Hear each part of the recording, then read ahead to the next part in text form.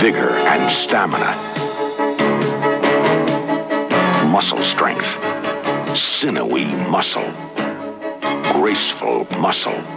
We're vitally interested in muscle.